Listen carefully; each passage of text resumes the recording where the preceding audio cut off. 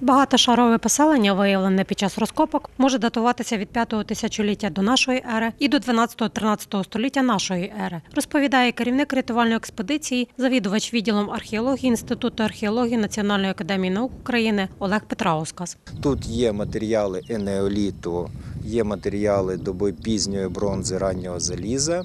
Є горизонт дуже цікавий, такий е, виразний. Це римського часу, це перше 5-4 століття нашої ери, і трошки менше давньоруської доби або княжої доби, як кажуть. Маємо понад 60 так званих археологічних об'єктів. Це може бути господарча яма, це може бути виробнича яма, яма з сміттям будівельним, це можуть бути житлові.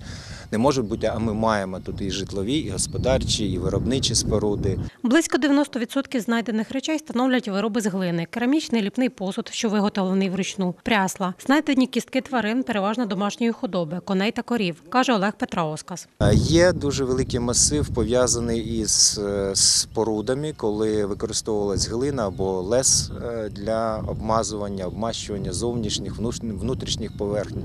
І відповідно, якщо вони пройшли, е, ну, підпали під високу температуру, то вони кам'яніють і залишаються от вигляді таких шматків. На перший погляд не зовсім виразних, але якщо уважно придивитися, можна знайти і деталі конструкції, як споруджувалось.